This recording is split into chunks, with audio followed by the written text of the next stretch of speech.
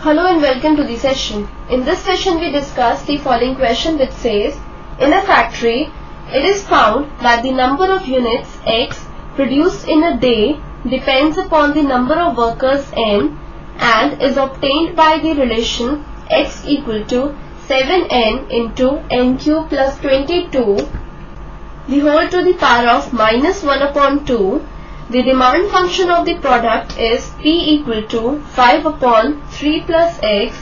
Determine the marginal revenue when N is equal to 3. Also, show that the marginal revenue decreases with increase of X. If we have that P is the price per unit and X is the number of units demanded then we have the demand function is given as x equal to f of p or p equal to f of x. The total revenue capital R is equal to P into X then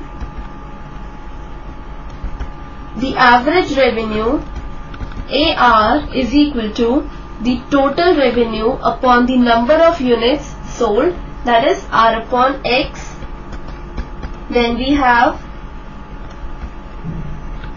the marginal revenue MR is equal to the rate of change of the total revenue with respect to the quantity sold. That is dr upon dx is the marginal revenue mr this is the key idea that we use for this question. Let's now proceed with the solution.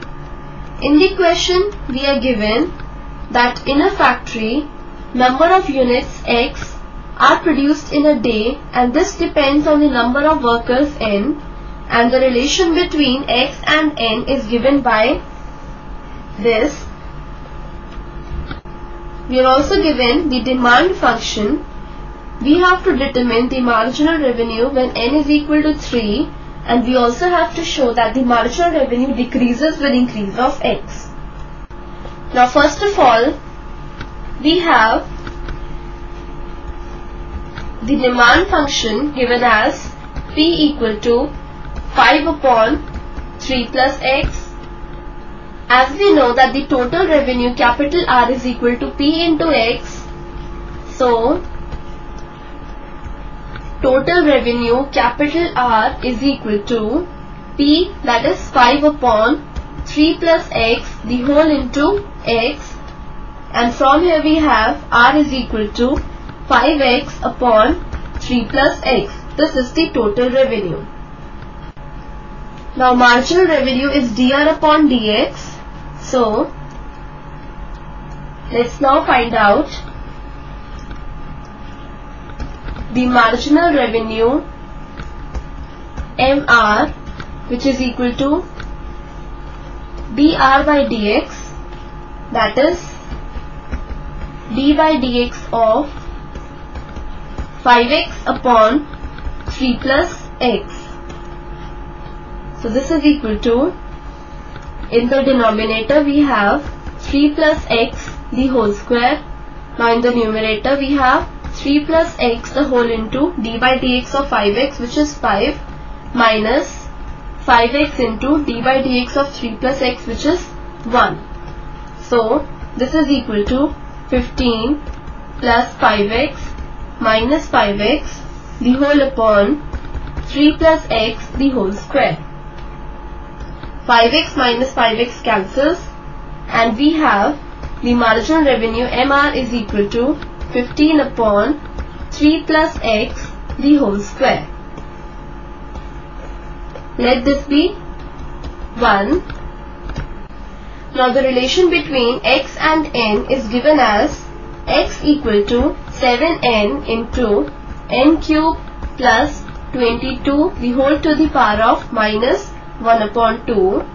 Now putting n equal to 3 in this we get x is equal to 7 into 3 the whole into 3 cube plus 22 the whole to the power of minus 1 upon 2 that is we have x is equal to 21 into 27 plus 22 the whole to the power of minus 1 upon 2 or further we have x equal to 21 upon square root of 49 which is equal to 21 upon 7. Now 7 3 times is 21 so this gives us x equal to 3. Thus we can say for n equal to 3 we get x also as 3 as we are supposed to find out the marginal value when n is equal to 3 so for this we will put x as 3 in relation 1 since x is equal to 3 when n is equal to 3 so now putting x equal to 3 in 1 we have marginal revenue MR is equal to 15 upon 3 plus 3 the whole square. That is 15 upon 6 whole square which is 36 now 3 5 times is 15 and 3 12 times is 36 so we have the marginal revenue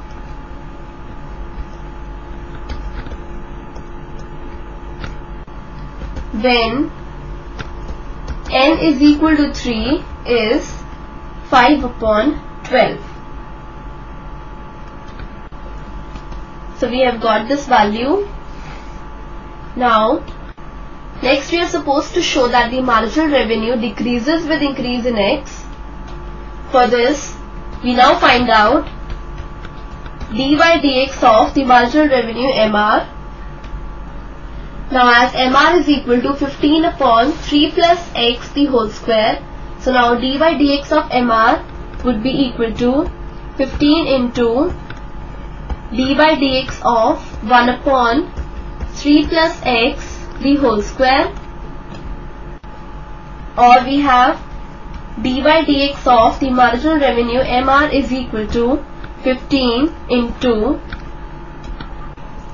minus 2 upon 3 plus x whole cube. So, this is equal to minus 30 upon 3 plus x the whole cube is dy dx of the marginal revenue MR. Now, x will take only positive values. So, we can say for all values of x 3 plus x whole cube is positive as can take only positive values as x denotes the number of units.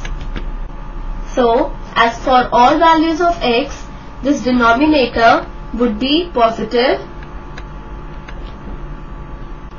So, we can say that d by dx of the marginal revenue MR would be less than 0. As this is less than 0, hence we can say that the marginal revenue decreases